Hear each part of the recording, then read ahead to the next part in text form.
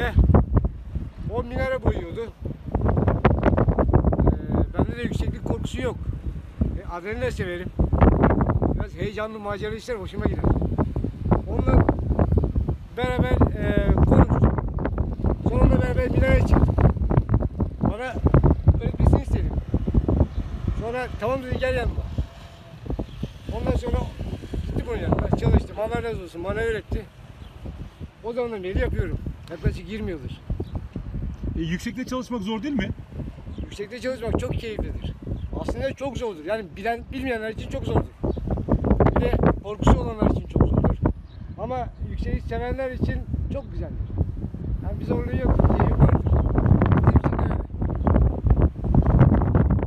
Türkiye'de e, hangi illerde minareleri boyuyorsunuz? Yani Türkiye genelinde çalışıyorum. Belli olmuyor. Mesela buradan mesela geçen eee yaz ya bizim sezonumuz yazlıktır. Minare sezonları. Geçen yaz 5 il değiştirdim. Yani belli olmuyor. Yani buradan Rize'ye gittim oluyor. Buradan Van'a da gittim oluyor. Antalya. Yani nereden telefon geleceği belli olmuyor. Onlar çağırıyorlar biz gidiyoruz. Tahminlerini yapıp boyuyoruz gidiyoruz. kaç çocuğunuz var? Neler yapar? Dört tane. İki oğlan, iki kız. Oğlanlar da çok seviyor bu işi. Ben, ben zaman zaman getiririm, onlara gösteririm bu işi. Çok hoşuna gider.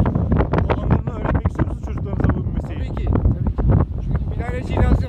Minareler var oldukça minareciler de gerekiyor. Çırak bulabiliyor musunuz? E, ha, talep konusunda bir sıkıntı var. Mesela herkes talip olamıyor. Dedim ya, yani bunu sevmek lazım.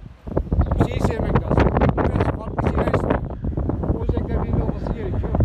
Ama şükür olsun bizim çocuklarda var. Talip var. Bir zaman Rize'ye gitmiştim. Rize'de bana dediler ki, ha burada bana örümcek adam diyorlar. Bir tanesi geldi dedi ki, ya sen delisin dedi. Neden dedim? Dedi bak yukarıya çıkıp bunları koyuyorsun. Dedim abi buraya da bir deli lazım. Şimdi minarelere usta lazım. Ee, biz de bu işi yapmanın e, bu yolla para kazanmayı ve rızk götürmenin e, gururunda yaşıyoruz. E, Şükür ediyorum ben. Bu minarelere hizmet ettiğim için, bu vesileyle çoluk çocuğuma rızk götürdüğüm için Rabbime şükür ediyorum. Severek yaptım bu mesleği.